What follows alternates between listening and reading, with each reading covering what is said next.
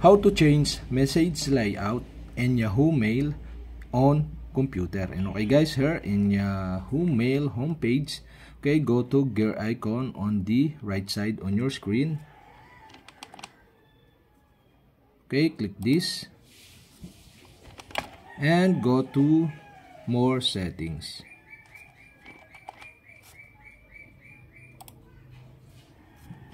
And more settings, okay, go to appearance on left side you can see here here in appearance you can see here the message layout. And the message layout set into right.